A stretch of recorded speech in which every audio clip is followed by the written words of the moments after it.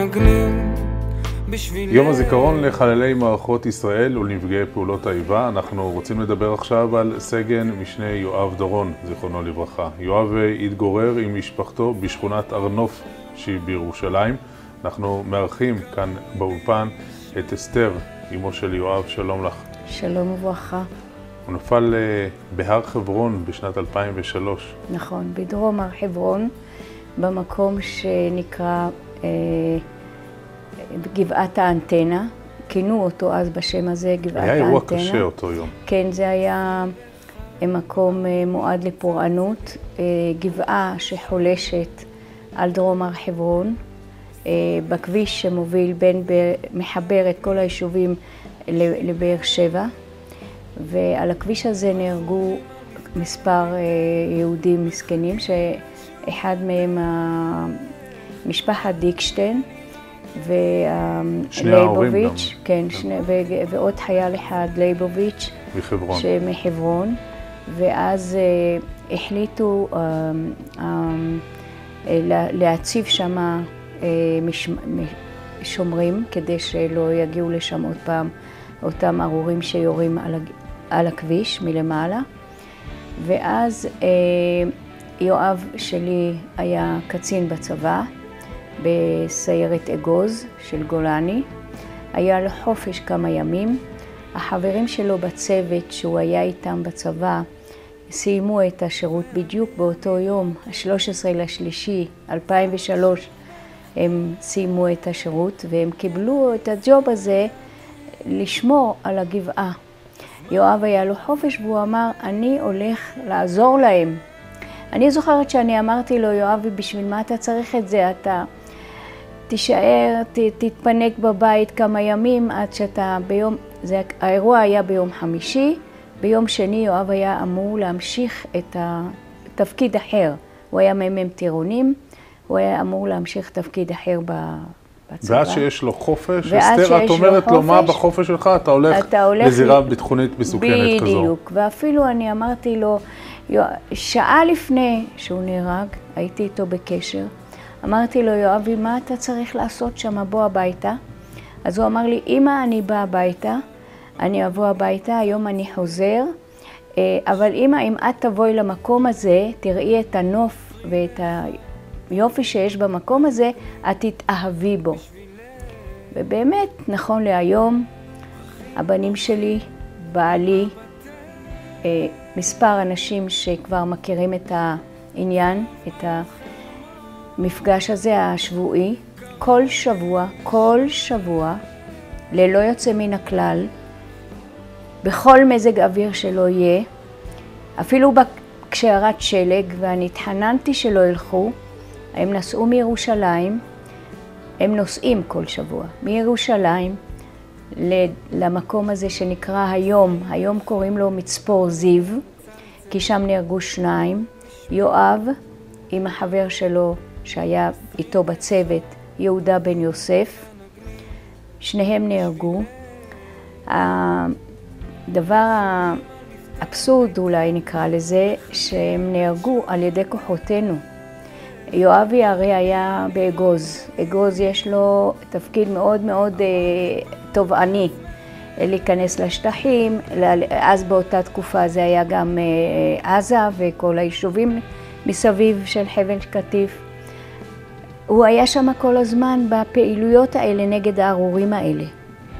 ובסוף, ברוך השם, משם אפשר להגיד שהוא יצא בשלום. הוא נפצע פעמיים בצבא. נכון, רציתי לשאול אותך, הוא הרי נפצע פעמיים אה, בעזה או בלבנון, נכון, וזה לא הרתיע לא אותו. לא בלבנון, הוא נפצע ב, ב, ב, ליד בית לחם. כן, וזה לא הרתיע אותו לחזור שוב לפעילות מבצעית. ודווקא אחרי הפציעה בבית לחם, הוא חזר, אז הוא היה באותות, באותם זמנים, הוא היה אה, בקורס קצינים. אז הוא חזר לקורס קצינים, אז אני אומרת, הכוחות נפש שהיו לילד הזה, הם לא, הם לא יכולים להיות מתוארים במציאות שלנו. עם הרגל הפצועה, עם הכאבים, עם קריאה של, של גיד. גידים, גיד ברגל, הוא המשיך לה, להיות בקורס הזה, הוא דבק במשימה. כל, ה, כל האופי שלו היה לדבוק במשימה. ו... זה כואב שזה בסוף אש כוחותינו? זה, זה... אה, בהתחלה אנחנו קיבלנו את זה מאוד בהבנה, מפני שאנחנו מבינים שכשעושים גם טועים. הבנו, קיבלנו. אבל ברגע שבא קפלינסקי שהיה, משה קפלינסקי שהיה אז מפקד יהודה ושומרון או משהו כזה, אה, והוא תיאר לנו את התמונה שהייתה שם. אמנם הוא קצת טייח, אבל הוא תיאר. ואז הבנו שהייתה שם פשלה איומה ביותר. הבנים שלי כולם בוגרי, אה, בוגרי יחידות קרביות. הם כולם יודעים, ויש לי גם קצין שהיה בדובדבן, אח יותר בוגר שלו, שגם הוא היה קצין בדובדבן. הוא הבין את המטריה. ברגע שראינו את הפשלה האיומה שהייתה שם, אז שינו, כולנו ש... שינינו את, ה... את הגישה, כלומר. התחושות היו גם יותר קשות. התחושות היו איומות ונוראות, כאילו, מה, איך זה קרה? איך הצבא עושה טעות כזאת? הרי, הרי המפקד שמה, אה, חגי מרדכי, אה, מפקד החטיבה שהיה, הוא בא אליהם, יואבי אמר לי בטלפון, אמא, את יודעת מי היה פה? היה פה חגי מרדכי, והוא אפילו הציע לנו שהוא ישלח לנו ג'יפ אה, סיור שיעזור לנו בשמירה. אז הג'יפ ציור הזה היה טילים מהשמיים, שבו, שבהם נהרג יואב, ו, ומגלן שירה על, על יהודה. אמנם זאת הייתה תקופה מאוד בעייתית שחיפשו את המחבלים וחשבו ששני אלה הם, הם המחבלים. כן. שלוש היו אהבותיו, כך אה, נאמר עליו. כן. לימוד התורה, אהבת הארץ ונגינה לגיטרה. נכון. אה, אני נכון. רואה את פה, אני רואה, זה ממש מתאים לשלושת הערכים האלה, שלושת הדברים עליהם אה, הוא גדל. נכון. הוא, הוא, קודם כל הוא אהב את הארץ. תשמע, בבית יש לנו, הוא הייתה, בגיל 17 הוא קנה אופנוע. הוא לא קנה אופנוע בשביל סתם להסתלבט על כולם או להתגאות או מה. הוא קנה אופנוע כדי לטייל בארץ. הוא הגיע עם האופנוע הזה עד קלעת נמרוד, למרגלות החרמון. מבצר צלבני, אם אתה מכיר את זה, mm-hmm. ואז שמה אה, הוא צילם, הוא צילם תמונות על הרקע שהוא נמצא שם. אחרי שיואבי נהרג, אנחנו הוזמנו למקום הזה, ושם יש אתר הנצחה של גולני, של אגוז, סליחה, של, של אגוז. הנופלים של אגוז יש להם שם, כל אחד יש לו בולדר כזה, ועליו רשום השם והתאריך של הנפילה, ועוד איזה קטע שההורים קבעו שמאפיינים את, ה, את הנופל. הזמינו אותנו אחרי שנה לאותו טקס. כל שנה אנחנו נוסעים לשם. אה, וכשאני ראיתי את המקום הזה הייתי בהלם. אמרתי לעצמי, זה המקום שיואב צילם לפני אולי שלוש שנים, שהוא היה בן 17-18, לפני שהוא התגייס לצבא. אה, וכשהוא צילם את זה, הוא, הוא הסגיר את התמונה, יש לנו אותה בבית עד היום, תלויה באותו חדר שאמרתי לך. אה, התמונה, הוא הסגר אותה, הוא תלה אותה בחדר שלו, ולפני שהוא תלה הוא בא ואמר לי, אמא, את מכירה את המקום הזה? אני אמרתי לו, לא, יואבי, אני לא, לא מכירה. לדאבוני לא הכרתי, לא הייתי שם. ולצערך הגדול... לי, אז הוא אומר לי, אמא, המקום הזה הוא אסטרטגי, הוא חולש על כל צפון הארץ. משם אפשר, צריך לשמור עליו, כי זה ממש מקום שממנו אפשר לחסל לנו את כל הצפון. ולצערך הגדול אה, נאלצת להכיר את המקום הזה דרך כן, נכון. האנדרטה. אה, עברתם משכונת אה, הר נוף בירושלים לשכונת רמות. רמות, רמות. היה קשה לכם להישאר בבית. כן, היה קשה לי מאוד להישאר באותו בית, כי החדר של יואב היה מול החדר שלנו, ההורים, וכל פעם שעברתי ד... מה, מהחדר שלי, דרך המסדרון, עברתי לחדר שלו, דרך, דרך החדר שלו, והיה לי מאוד קשה להיכנס לתוכו, ואז החלטתי שאני צריכה לעשות שינוי ולעבור לבית אחר. עברנו לרמות, כי הבנים שלי, יש לי, היו לי, זאת אומרת, שני בנים גרים ברמות, היום כבר אחד רק. אה, ובעלי החליט שרמות זה המקום הטוב בשבילנו, כי הבנים גרים שם. אה, אבל אני רוצה לציין עובדה אחת, שכל התכולה של החדר של יואב, שהיו לו בחדר כל מיני תמונות שהוא צילם, התמונה של הרב בלייכר שהוא הסגיר וצילם. הרב בלייכר היה הרב שלו בישיבה בשבי חברון, הוא למד בשבי חברון.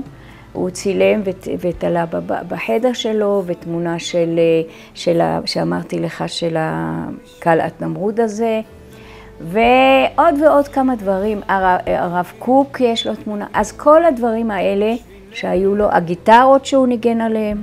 הכל לקחתם כמו הכל שזה, והעברתם לשכונת הכל לקחנו את החדר הזה והעברנו אותו לרמות ושמנו את זה בחדר. היום החדר הזה משמש אה, כחדר של יואב, קוראים לו. הנכדים יודעים, זה החדר של יואב, והם מכנים אותו גם חדר המשחקים, כי באותו חדר הכנסנו המון משחקים של יואבי.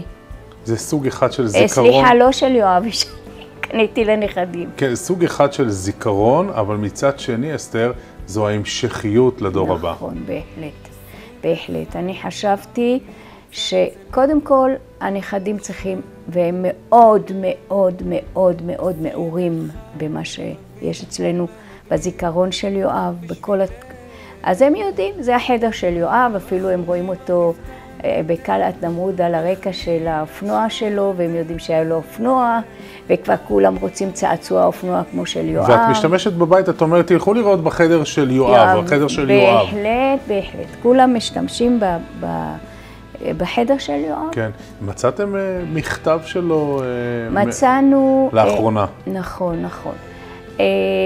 הארנק של יואב, הרבה דברים לקחו לנו זמן לפתוח, כי קשה מאוד לפתוח דברים ששייכים לנופ... לנופלים. זה, זה עוצמות נפש קשות ביותר לעשות את זה.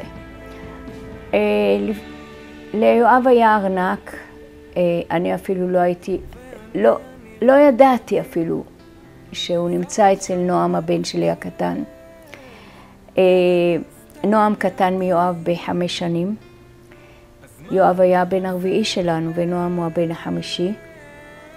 ואיך שנפל יואב, כנראה שנועם לקח את הארנק והכניס לכיס כמו קמע, ואנחנו לא ידענו. ולא פתחתם אותו. לא פתחנו. עד שאשתו של נועם שמה לב לארנק הזה, ואמרה לו, בוא נפתח את זה.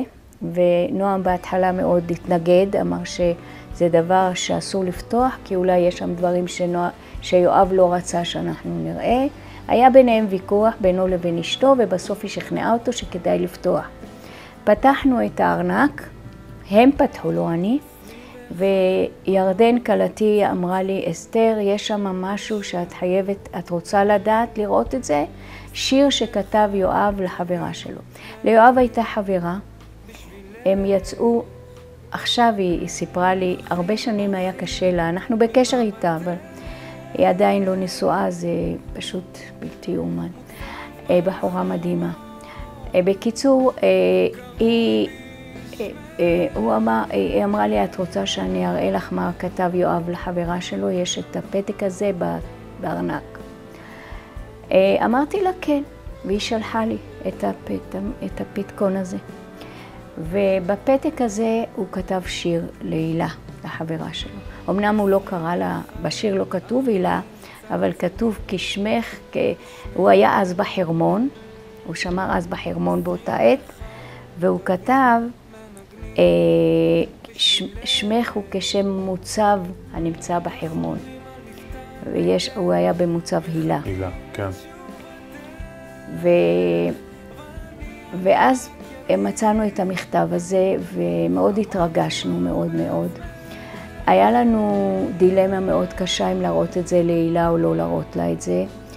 אמרנו, קודם כל נחליט מה אנחנו עושים עם השיר הזה. זה לא שיר יחיד שיואב כתב, הוא כתב עוד, יש ספר שלם שבו הכנסנו, הכנסתי שיר אחד שלו, משהו אחר, נושא אחר, מדבר על דברים אחרים. בקיצור, אה, הבאתם לה את ה... הבאנו לה את ה... לא, אה, אז אה, ירדן שלחה לנו את הכיתוב של השיר, ואז אנחנו, דרך אגב, הוא גם חילק אותו לאוקטבות, פשוט, ממש. כי הוא ניגן, אז כנראה שהוא גם חיבר לזה מנגינה, ואנחנו לא יודעים בדיוק למה הוא התכוון. אבל ירדן כלתי החליטה, יחד איתנו, בדעה, שנחליט לשלוח אותו למבצעים.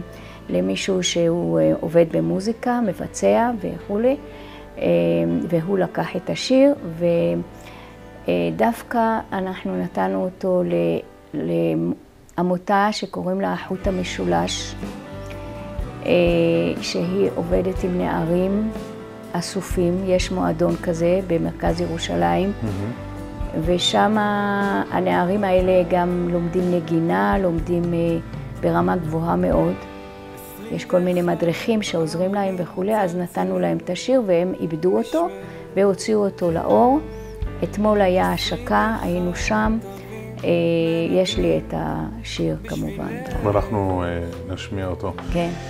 אסתר אה, דורון, אימא של יואבי, אני מאוד מודה לך שהגעת כאן לאולפן ביום הקשה הזה. תודה רבה, תודה רבה רבה רבה. קרוי בי